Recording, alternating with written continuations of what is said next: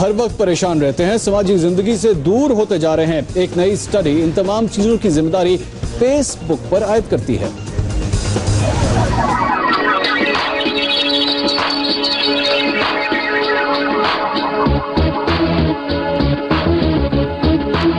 اگر آپ زندگی میں خوش رہنا چاہتے ہیں اور آئیڈیل زندگی گزارنا چاہتے ہیں، تو فیس بک کو بھول جائیں۔ کیونکہ ڈینش ماہرین کا کہنا ہے کہ فیس بک استعمال نہ کرنے والے زیادہ خوش رہتے ہیں۔ ڈینمارک میں کرائی گئی تحقیق، جس میں سے ایک گروپ نے فیس بک کا استعمال جاری رکھا، جبکہ دوسرے گروپ نے سماجی رابطوں کی اس ویب سائٹ کا استعمال ترک کر دیا۔